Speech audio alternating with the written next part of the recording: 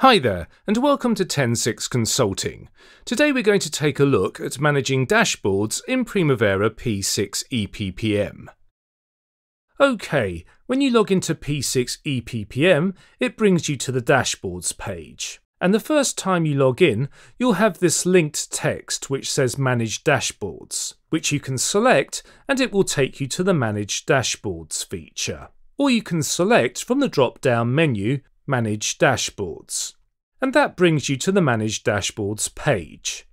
And then if you left click on the twisty, you'll have the list of available dashboards. I'll go ahead and select the Personal Workspace dashboard and that brings it up to the top of the display. Now we want to make some changes to our Personal Workspace dashboard. So we select the text which links us to the content of Personal Workspace page. And here you will find three tabs. The first tab is the Content tab, where you can select the portlets that you want to display. You can customize portlets, and you can also select a portfolio of projects to display in those portlets. Then you have the Layout tab, where you can select the layout of how your portlets are displayed on the screen. And then finally, you have the Access tab, where you can select the users that will have access to this dashboard. And our access is going to be for the current user.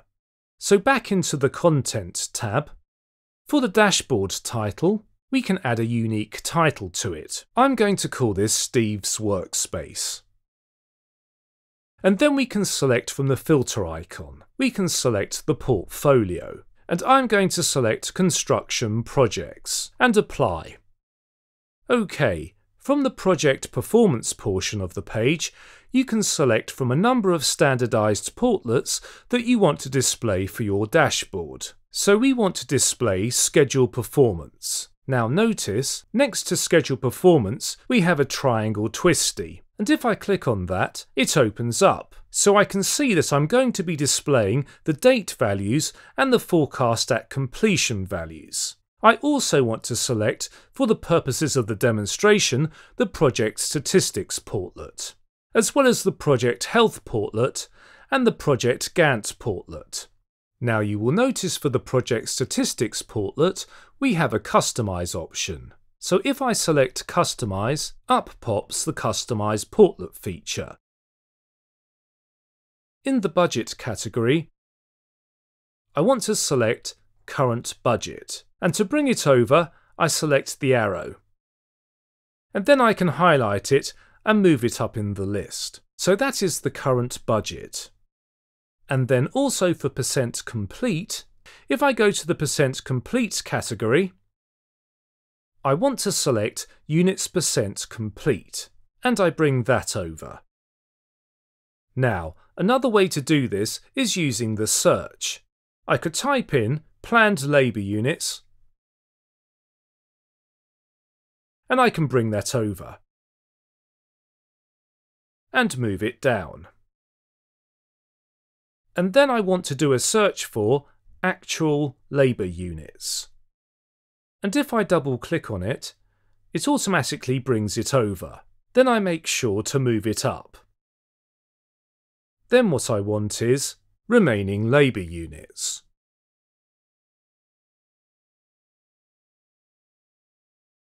With all of that selected, I hit the Save button.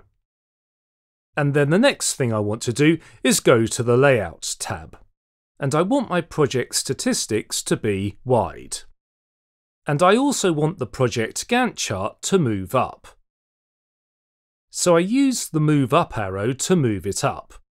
And I'd also like Project Health to be moved up as well. So that's everything selected. That's how the portlets will be laid out on the screen. And if I go to the Access tab, I want to select Access to be available by the current user. And then with all that selected, I go to the Content tab and select Save and Close. Then I select the Dashboards tab, and it displays my Steve's Workspace dashboards. And I can see my project's portlet, Communications Center, My Calendar, Schedule Performance, Project Gantt Chart, Project Health, and then finally Project Statistics Portlet.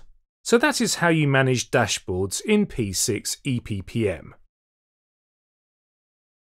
If you'd like to learn more about Primavera P6, then Ten Six offers some great online training courses. These courses are written by industry experts and offer you all the skills you need to get up and running as a P6 scheduler.